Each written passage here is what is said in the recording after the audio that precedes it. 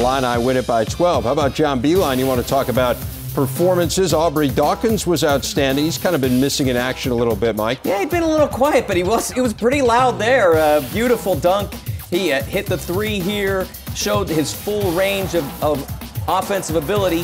Not really sure why he's been as quiet as he has over the course of the first two months of the season, but really solid today. But it was Derrick Walton Jr. who came up with their second triple double in the last week, Howard. Well, I'll tell you what, he's been fighting injuries. He's been trying to get into a flow this season. We know he's capable, and he did a really nice job of complementing LeVert's triple double just a few days ago and coming in getting one of his own. At 10 points, 11 rebounds, 13 assists. They pound the Penguins 105 to 4.